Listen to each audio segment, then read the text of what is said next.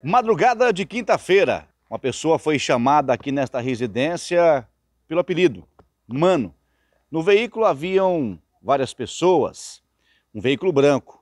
Quando o Mano apareceu na área, ele foi surpreendido com disparos de arma de fogo. As pessoas que acabaram disparando foram embora, mas voltaram novamente e por cima do portão, pela cerca, acabaram disparando novamente outros tiros. Segundo informações que colhemos no local, cerca de cinco tiros acabou atingindo esta pessoa conhecida como Mano. Ele estava na casa com a sua esposa e foi surpreendido por essas pessoas. Não sabemos de fato o que levou a este crime, mas agora a Polícia Judiciária Civil começa a investigar para chegar à informação. Segundo informações também, ele estava tornozelado.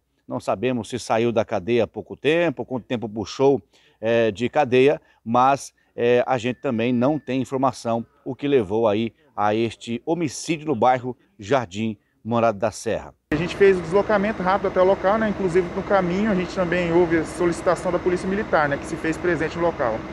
A gente chegou até o local, encontrou a vítima né? já ao solo e conforme a informação das pessoas, havia acontecido há pouco tempo, então a gente fez esse transporte até o hospital.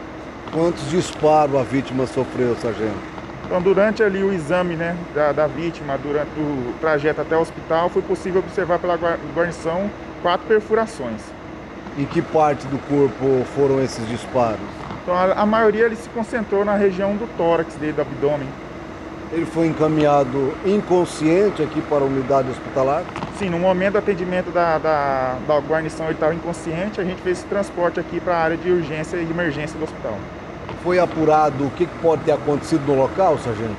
Não, a gente não apurou muito a situação, mas a princípio que a gente pôde observar ali parece que foi uma briga que aconteceu. Na segunda vez que os meliantes voltaram né, para terminar o serviço, uma mulher entrou na frente, possivelmente seria a esposa dele, pedindo para não atirar, pedindo para não atirar, mas a pessoa que estava com a arma em punho simplesmente falou assim, ó, sai da frente, que a nossa bronca é com ele e acabou de fazer o serviço. Familiares agora de pessoas, da, da mulher também, que é a esposa do Mano, como é conhecido, está agora limpando o sangue ali, uma cena muito triste de se ver, e mais um fato registrado de homicídio em Pontes Laceda, desta vez aqui no bairro Jardim Morada da Serra.